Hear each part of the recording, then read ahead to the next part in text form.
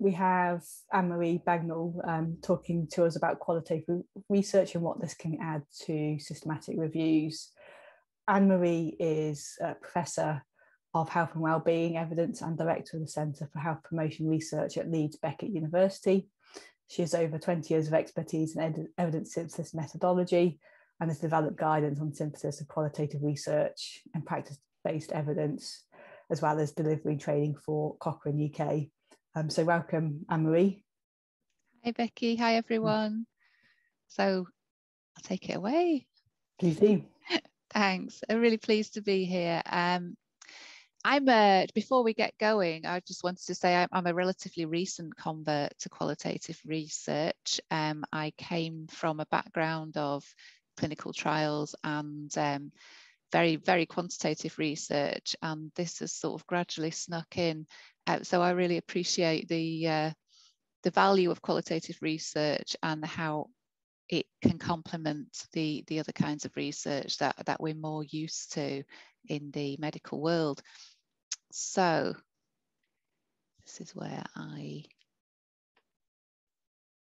can move on to the next. Oh, what have I just done?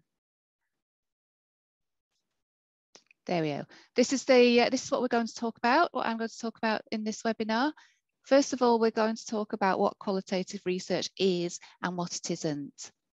And then what can it tell us? And then the so what question, which I'm sure you'll all be asking, how does this help me? And what on earth about the evidence hierarchy? What's the point of qualitative research? How can we include qualitative research in systematic reviews? What about risk of bias and strength of evidence? And then a couple of examples of systematic reviews where qualitative research has been really interesting as part of those reviews. So section one, what's qualitative research? So to start us off, I wondered if you would like to take part in this poll on Slido again. So if you've got that, um, you can scan in the QR code or if you've still got it up on your phones or computers. Would you like to tick all of these that you think are qualitative research? And I will give you a clue. Um, there is more than one correct answer. So I'll just wait and see and a few of you have voted. So your options are market research, semi-structured interviews, questionnaires and surveys, anecdotes, ethnography, case reports, and in-depth case studies.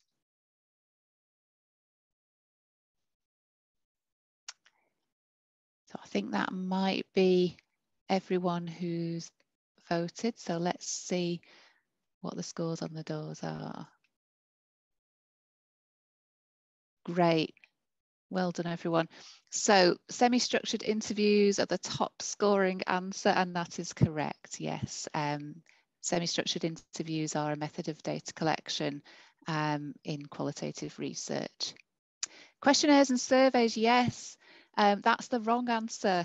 81% of you um, questionnaires and surveys are usually, no, you don't have to change your answer, whoever's now. Oh, we've got a few more coming in.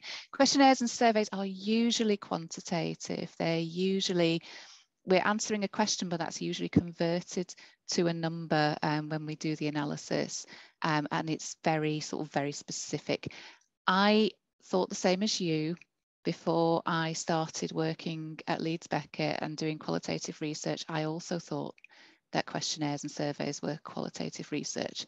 So there is no judgment here from me. Um, don't worry about that at all. But that's why I put that in. And I'm pleased to see that you thought the same as what I used to think. Um, so I am talking to the audience I thought I was talking to.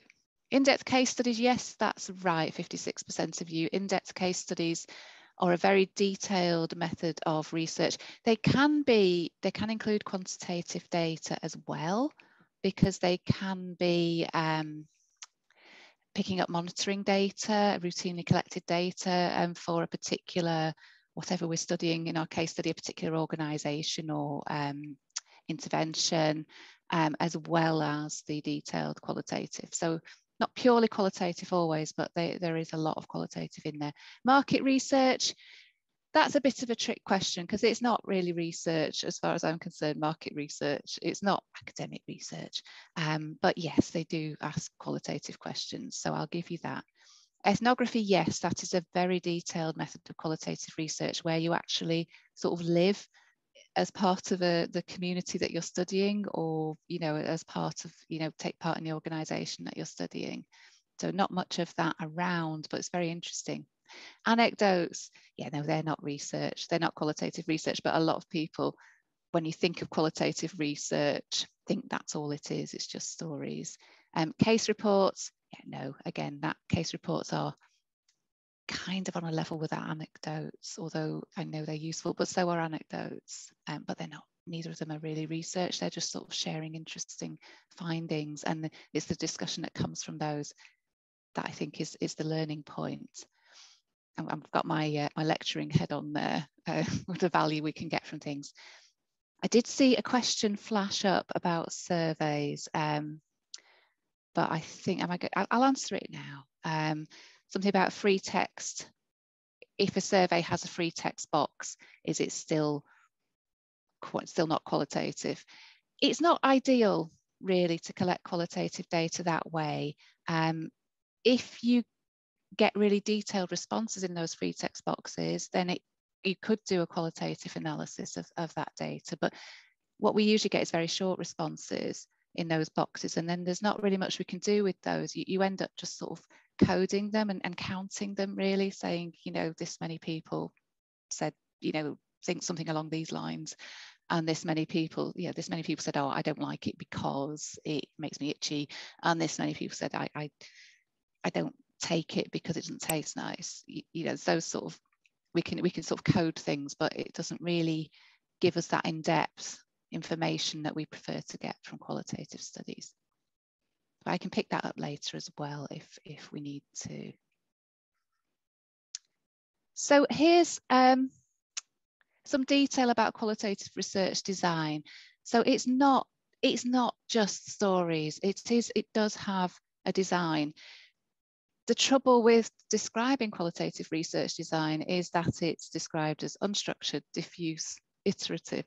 So rather than having a protocol, we, I do have a protocol for my qualitative research, but rather than having something that won't change, um, like a trial protocol or a systematic review protocol that we don't like to change, it's built into qualitative research that we may revisit, particularly the sampling. You know, if we feel we've not got the right people or we've not got all the people, or the data that we've got from the people who are already in the study indicates that there's another group of people we might want to interview, then it's it's iterative. We, we can change that, we can add that into the protocol, and that's okay in qualitative research.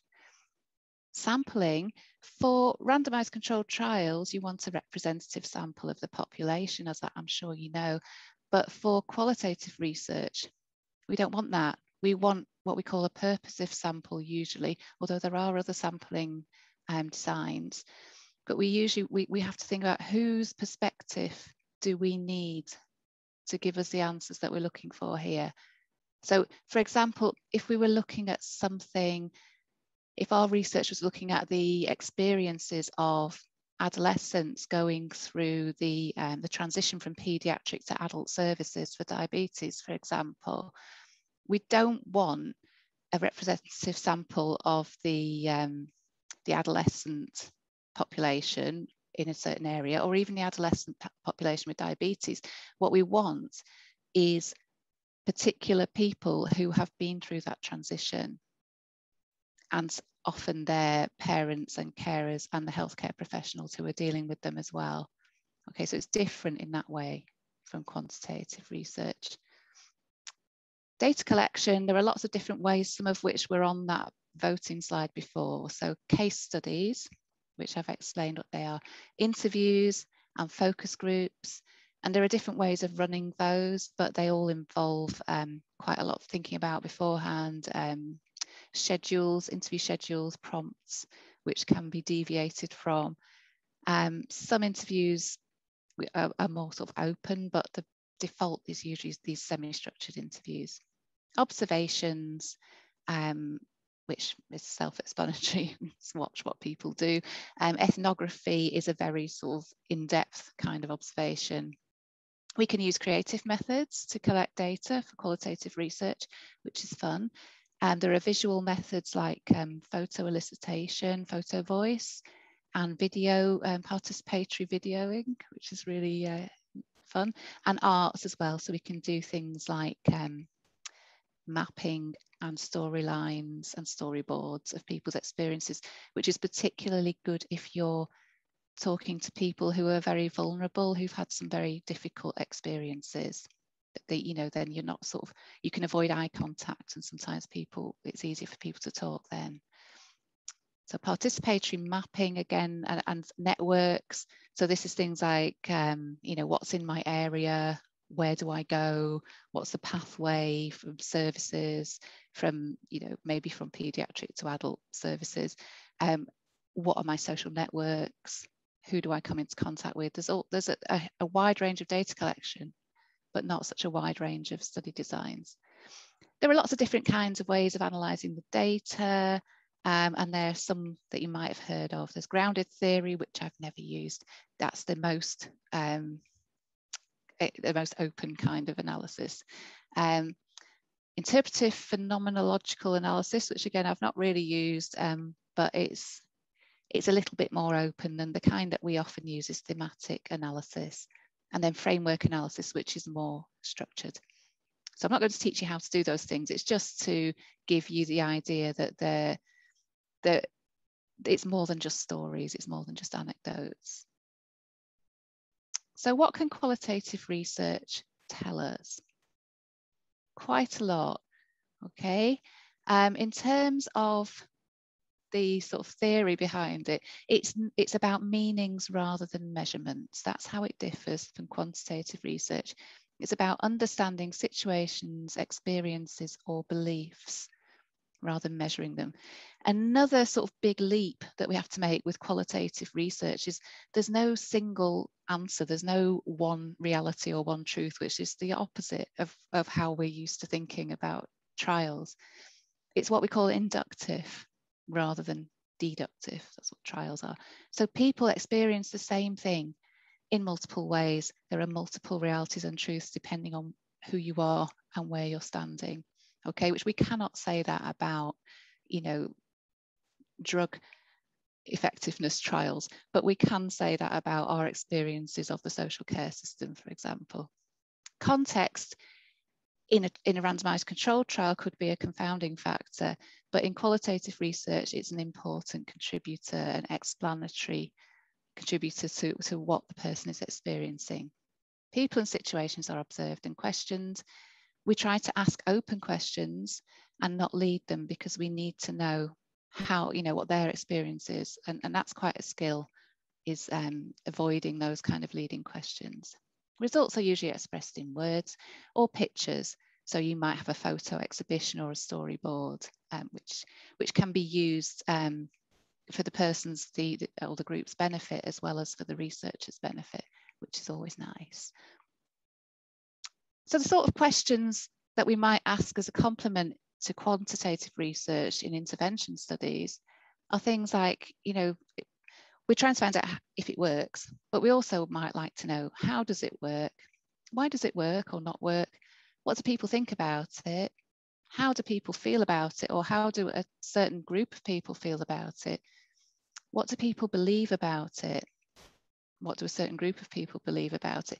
And this is particularly relevant at the moment in terms of, um, or re relatively recently in terms of vaccine uptake and vaccine hesitancy.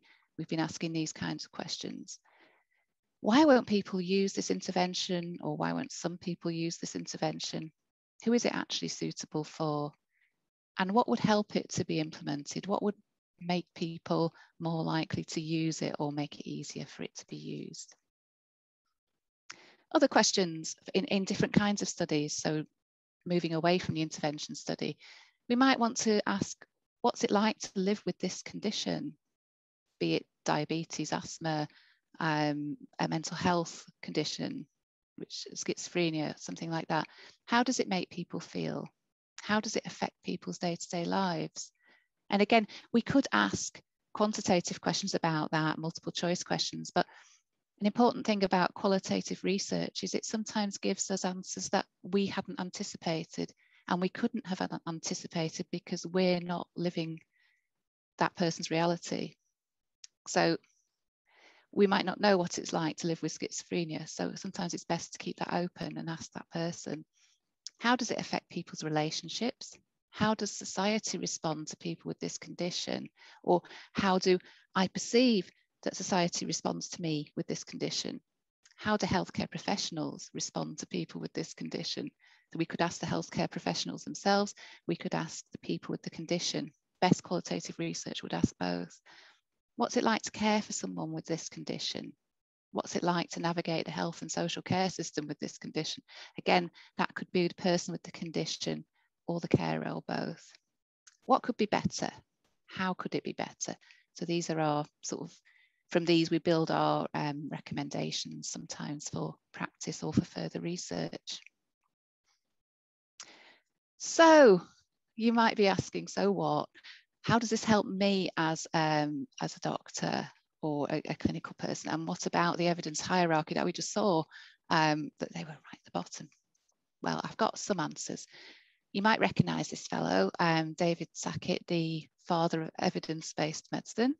Um, he mentions where this comes into it. He says evidence-based medicine conscientious, explicit, judicious use of current best evidence, that's our reviews, in making decisions about the care of individual patients. It means integrating individual clinical expertise, that's your expertise, with the best available external clinical evidence, that's the reviews, from systematic research. But if you look at his diagram, patient preferences are in there as well. Okay, so it's um, how do we get those patient preferences? The best way is to ask people. And as we've seen in the pyramid of evidence, it's the same pyramid, this is just not as good a diagram. They're down here. Qualitative studies are down here with um, uh, process evaluations and case studies and case series. But I think the case studies in here are not the kind of case studies that I was talking about. They're more like case reports. This is something that I stole from a colleague, um, Professor Ruth Garside off Twitter, an alternative evidence hierarchy. And it just sort of puts, it's basically saying there's no hierarchy. It all depends on using the right study design for the question that we're asking. So if qualitative research can tell us things about, you know, why, why don't people use this medicine? What's it like for people taking this medicine? Why don't people take it? Why do people take it? Rather than the questions about does it work? Okay, so they can complement each other. There's also an argument about health inequalities and how most interventions have the potential to increase the health gap. Okay, and qualitative research can be one way of getting evidence from people who don't generally take part in randomized controlled trials. It's a bit of a weaker argument, it's a different argument. Um, it's just the argument is just that rather than saying we have no evidence, we might have a little bit of evidence that we can then use to, um, to focus uh, further research. Okay, but I'm going to skip over that bit because there's, I need to talk to you about this. How can qualitative research be included in systematic reviews? First thing I wanted to say is that narrative synthesis is not the same as qualitative synthesis, okay? Um, narrative synthesis just means, and narrative synthesis is part of any systematic review, whether we've got quantitative studies, qualitative studies, or a mixture. Um, it is just a way of organizing our results. Okay, but we can use narrative synthesis to bring together the results of a review that includes qualitative evidence. So this is just a slide going into a little bit more detail with some links in about, excuse me, about what narrative synthesis is. Okay, and it is just a textual thing, but we use tables and we group things um, as part of the review. Okay.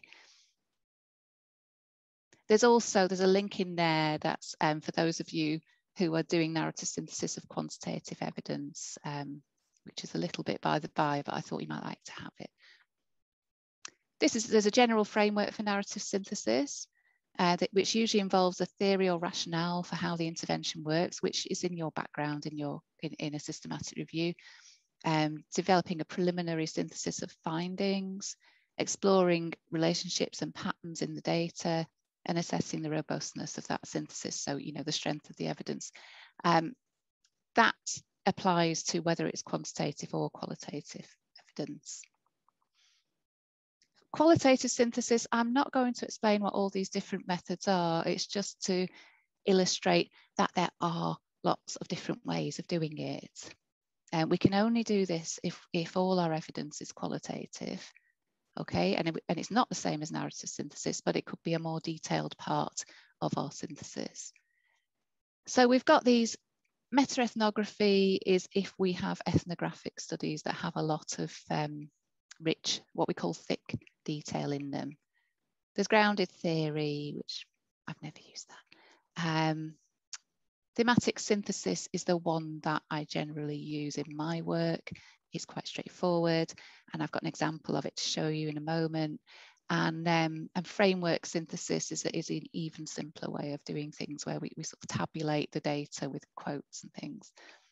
The others I'm not going to go into, um, but if anyone wants more information, there is a reference there that goes through all those different kinds of ways of doing qualitative synthesis. You can also do mixed method synthesis which is a way of combining the findings from quantitative studies with the findings from qualitative studies within the same review.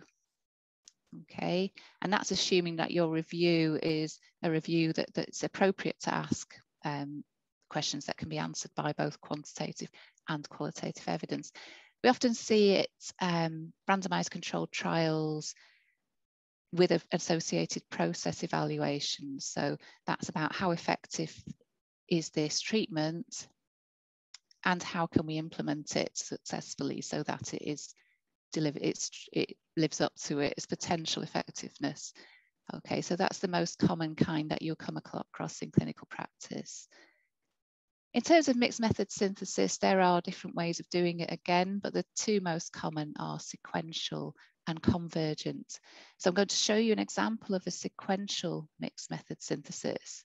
And all that means is we either do the meta-analysis first and then use the qualitative synthesis to try and explain any strange things or unusual things in the findings, um, or we do the qualitative synthesis first and then use that to ask further questions that we that we look so we look at different things in the meta-analysis. We, we look at different factors and see if things vary according to these factors that the qualitative synthesis is telling us might have an influence.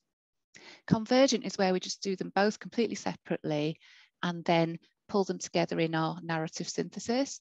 So um, we've got some findings from quantitative studies we've got some findings from qualitative studies and when we we just write them up together in the same section, which is quite straightforward to do. What about risk of bias and strength of evidence? Yes, we do, we do do validity assessment and we do look at the strength of evidence for qualitative studies. Okay, there's not generally an agreed validity assessment checklist for qualitative studies, and that's partly because there's some debate over whether it should be done at all the purest of qualitative researchers think that taking things out of context and putting them into a systematic review um, is a bad thing to do and you should never do it with qualitative studies.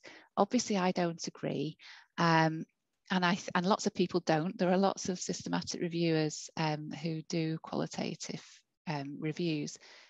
So I think you know, if you're including qualitative research in a review, you've already made the decision you're going to assess its validity it's not about bias okay? Because we are in qualitative research we're looking for a biased sample we're looking for a biased viewpoint because we're looking for, at particular groups of people's viewpoints. And it's not about external validity and how generalizable our results are. It's about how credible it is and how um, how repeatable it is in that particular group, if, if someone else asking the questions would get similar answers. So the credibility is more subjective than it is when we're assessing risk of bias. Transferability, to assess that, we need the study to have given a detailed description of the context. Dependability, that's about um, can it, um, can, can, can we see change here? Is it capable of documenting change? So there's some similarities there with the quantitative risk of bias. And confirmability, and that's about you don't, it's not good practice to have just one person, one researcher analysing the data in a qualitative study. Usually um, to, to get good, good marks on confirmability, you have to have another researcher or, or more um, looking at that data as well. There is a CASP checklist um, for qualitative studies and really that's probably got everything on it that you need. We've looked at different checklists for validity of qualitative studies, but um, this one uh, we would we most of us agree that this this one is fine. Um, it's got everything that you need on there. You don't need to look at the others. Strength of evidence. We were talking about um, Katie and Martin were talking about grades um, and the summary of findings tables. There's a similar process for qualitative evidence, but obviously using slightly different criteria, and it's called GRADE CERQual confidence in the evidence from reviews of qualitative research. So it's been developed by a group of um, people who are very good at um, and this sort of methodology. They're part of the GRADE guideline development group um, and there's a link to, to that there. And I have used it, it is relatively easy to use.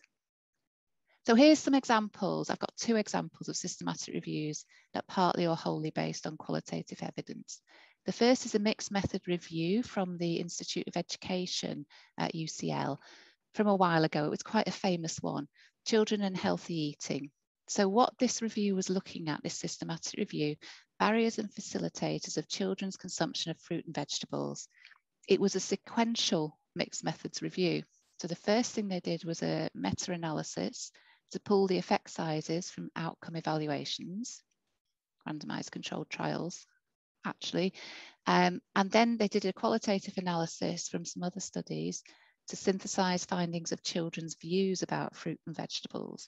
And they were particularly, they were looking at the barriers and facilitators. So what, what would encourage you to eat more fruit and vegetable and what puts you off eating more fruit and vegetables. And then there was a cross-study synthesis to integrate the findings where they, they took the children's views and then they looked again at the meta-analysis and looked at in terms of subgroups of studies that met those criteria, called it a match. So appropriate interventions which matched children's views led to a bigger effect sizes. For, so for example, children had said, if I'm told that fruit and vegetables are tasty, then I might eat them. Um, but if I'm told that they're healthy, that doesn't really encourage me to eat them. So they did a of subgroup analysis of the studies that were um, promoting fruit and vegetables as tasty rather than healthy and found that actually, yeah, there is a bigger improvement increase in the fruit and vegetables eaten in those studies. And also opportunities for children to influence the social context in which they eat. Those studies where children were involved in the design, I suppose, of how the fruit and vegetables were being given had a bigger effect size, a bigger increase in fruit and veg consumption. And very last, slide, a purely qualitative review of um, weight loss maintenance, people's experiences of weight loss maintenance. A thematic synthesis of 26 studies, so quite a big review. Um, and this is what it found. I'm not going to go into the details of how it did it. Making behavior change generates a psychological tension. This was a psychological review um, due to the need to override existing, eat, ex, existing eating habits. So and that tension was due to the incompatibility of the new behaviours with the fulfilment of psychological needs. So how to get over that. Successful maintenance of weight involves management or resolution of this tension through management techniques, self-regulation, renewing of motivation to maintain that weight loss, and managing external influences. So, and that that's things like, um, you know, not not going for a takeaway or going for a walk instead of going out for a meal, that sort of thing. Um, changing habits, this um, resolution of attention, changing habits, finding other ways to address needs. Okay, so going for a run instead of eating chocolate. In, in my case, that's that's one that I do try to. And then the, there are lots of changing self-concept, which I think was a bigger ask in this review. But that's um, that's useful um, in if you're somebody who's trying to develop an intervention to help people lose weight and maintain that weight loss. So that's the end of my presentation and I can see there are some questions. Um, that was really interesting. Thank you, Anne-Marie. And yes, the examples at the end I think are quite powerful to demonstrate how your qualitative data has been able to kind of, I suppose, change what people took from those reviews and you know can you know impacting decision. And it's just you know you look back and go actually it's quite simple maybe matching what children want to eat. But yeah you may not have ever discovered that without you know, qualitative evidence. That was really interesting. Um, so if so for people um, if you yeah leave some put questions in the Q and A um, we've got a few from Mohammed and I think some of them came Ooh. through halfway through the talks I think you might have mentioned about or I hope you kind of answered already about the mixed methods and what to do with the you know the kind of quantitative and qualitative. Oh part. yeah, there's there's various ways of dealing with that. You, you could do it completely separately, Mohammed, or you can um, and just report them separately if you think the meta-analysis is answering a different question from the qualitative research, or you can like in the healthy eating study, use the qualitative to interrogate, do some subgroup analyses in the um, in the meta-analysis if, if you can get a match between what the qualitative says and what some of the studies say. Although that's not the, those aren't the only ways of doing it, they're just examples. Yeah. And then another question from Mohammed was about advice on kind of specific courses for learning about more about qualitative research. Ah, the, I know that a CERQual do online training, the, the CERQual group, um, but that's more that's more about how to grade, how to use that in systematic reviews. Um, it's, there's there's lots of different courses for learning about qualitative research, and and yeah, we tend to use NVivo to analyse it, but it depends what sort of depth you're going into. Um, yeah, I, I I would have a look around. Uh, there's not there's not sort of one that I would recommend, Mohammed. I think there's there's a lot of universities run courses on qualitative research. I'll tell you, um, the SAGE research methods, the, you know, the journal SAGE, they actually have um, I'll try and find the link and send it through to Becky so you can send it to people. But they they actually have uh, a little section on, on their website that's open and they've got webinars as well about qualitative free. Oh, I'm not sure if we've lost Anne Marie or if it's my internet that's playing up. We'll just give it a few moments. Um, whilst Anne Marie's trying to get back on, I'll just have a look at um, some of the questions. I'm not qualitative research is not something I'm particularly up to speed with. Um, so interesting question about the minimal important difference. We'll save that in case Anne-Marie reappears.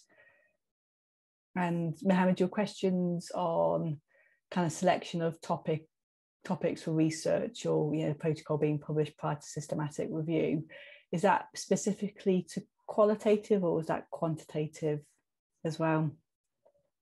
Okay, for both. Um, so certainly for the for quantitative reviews, you want the protocol to be published beforehand. And one of the reasons for this is just so every, all the decisions are made a priori and you're not being influenced by the data that's coming out to try and avoid bias. Um, one of the other benefits of kind of publishing protocols beforehand is that it means other people can look at it and you can get feedback on the protocol. It might be that you've overlooked something um, and you know another researcher comes and looks at it and goes, "Yep, you could try this instead," um, to try and make the review as kind of as good as useful as it can be. I'm not quite as up to speed with qualitative reviews and if that's different or not. Um, and I suppose for um, Mohammed also asked a question about um, you know, selection of a topic um, or research question for a systematic review and what to do about it. Um, I think there's a few different kind of options available. So I'm you know, I'm just coming to um, hopefully publishing a protocol for review that I'm doing, and you know some of it is knowing what the you know what the evidence is already, what other reviews have been done in the area, and see if there's any gaps. Um, it's also quite useful to speak to leaders in the field about things that they think is important. Um, as we were kind of discussing last week, some people do kind of focus groups and involve you know patient or consumer participants in asking them what are the things that you want to know about that we don't know about already? And using that to kind of tailor questions and you know, trying to work out what are important questions to be asked that haven't been asked already. It's quite useful to if you are thinking about doing a systematic reviews looking on prospero um, because that has a list of all the different reviews um, and you can see if things are already in the pipeline. Um, I've gone off piece slightly, Anne Marie. Sorry, Becky. I don't know what happened. really pick, sorry. Picking Q and A's that I could answer, um, but now you're back. Um, you saved the hard ones for me? I have saved the difficult ones for you. Um, can you use qualitative research to help define a minimally important difference?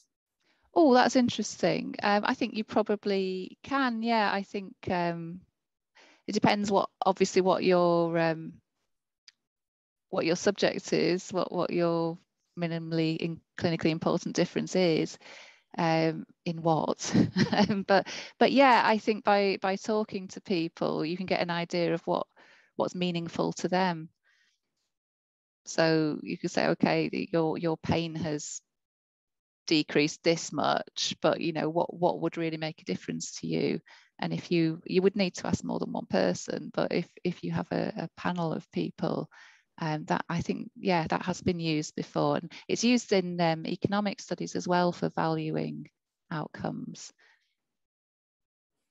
So yeah I think it, I think it can be used. I can't say I can give you a specific example of where it has been used but yeah. it's a really interesting question. Um, and another question that I partially answered was um, for kind of qualitative reviews, are protocols produced in the same way as a quantitative review? Absolutely, yeah, you're right. I heard you talking about Prospero as I uh, reappeared. So um, yeah, yeah, we've we've put um, protocols for um, qualitative reviews on on Prospero, and, and that's fine. Yeah, everything is exactly the same, uh, really, apart from you might be, you know, have, have different inclusion criteria around the S of the PICO, or, or if you're really go, if it's not an intervention review, obviously be using a different acronym than PICOs. But but all the all the bits, all the um, headings are the same really, and and it's just the analysis that's different. But you should have just as much rigor in your protocol.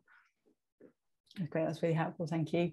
Um, we've got a few more minutes if anybody else wants to add a few more questions to the Q&A. Um, I suppose one of the things that I was wondering about is, you know, you mentioned you initially were you're very much a quantitative researcher. Was there a particular thing that moved you on to qualitative or was there just a kind of slow development? I think it was really the very first study that I did um, at Leeds Beckett because the first thing that happened when I got there was I went to a seminar and someone was presenting their, um, a study they'd done using photo voice and I was completely horrified. Well, this isn't research. You know, people in the community were going around taking pictures of things that meant something to them and then talking about them. I was thinking, like, well, what's that tell you? Like, what's that's not very generalizable. And I, because I hadn't really come across qualitative research before, uh, but then the first study I did was a mixed method study of um, self care in primary care and self care for people. It was an NHS study, um, and one it was two parts, two completely different studies really, and one of it was about self care training, um, so kind of health promotion training for groups of people um, working in just in the community. So we chose parks and landscapes people because there's a lot of those around in, in West Yorkshire. Um, and they were given some training. And then we came in and we, we, we had a big questionnaire, big survey, but we also did a lot of in-depth longitudinal interviews with them. And you could really see, you know, the, the, the findings of the questionnaire, which showed small change in a large group of people, as it turned out. Um, the findings of the interview was showing sort of large change in uh, in smaller numbers of people, but really sort of giving you insights into how that worked, um, you know, and how those changes were made, and and you know that the progress that people had made through time, it really brought it to life. And the same with the self-care in primary care, which was aimed at um, primary care practitioners, mainly GPs, um, who were given some training, which I'm sure, well, I didn't go down very well, I don't think, um, in how to deal with frequent attenders, as they were referred to at the time, um, to encourage people to manage their long-term conditions um, more effectively, better ways. Um, and we got a lot of interesting information from those interviews with primary care professionals, some of which was relevant to the research, and some of which was just general offloading about um, working primary care. But it was it was very interesting because it didn't work in primary care, but it was very clear why it didn't work from what people told us in those interviews, and that was very useful because otherwise we'd have just had it didn't work and no particular exp- explanation of, of why it didn't work, but we knew absolutely why it didn't work, and and that was not just from anecdotes that people had told us, but from these sort of series of interviews that we'd done so yeah that was my light bulb for me and then it's um, I, I, enjoy it as well i love I mean, I have my recorder taken off me sometimes because I just let people talk. I love listening to what they say. I mean, so it sounds like you know the qualitative can just really complement, I suppose, the quantitative research and yeah, kind of asking why things don't work. Do you sometimes find that people kind of work in cycles? So they do, you know, maybe you know qualitative, a bit of scoping, some quantitative, and then we'll go back and go actually why did this not work or why did it yeah. work and then kind of have a you know go again on something quantitative yeah to go let's explore that a bit more and um yeah ask the questions and then then you could you've got the right focus for your quantitative research it can be expensive qualitative research because it's time consuming spending that time with people and then you know getting the interviews transcribed and analyzed but it's yeah it's it's worth it. And the other thing that we find, I said we, we get unexpected findings. Um, so questions that we didn't think to ask, uh, people will answer for us. Um, but we also, you'll often hear about negative things more in qualitative research. So people will share with you how much they hated this intervention that's done very well on the, on the um, questionnaires, for example. and so you don't get that perspective from the surveys, but you, you, people tend to tell you about it qualitative and that's useful as well lovely fantastic so thank you very much anne-marie for your you. time it's been really interesting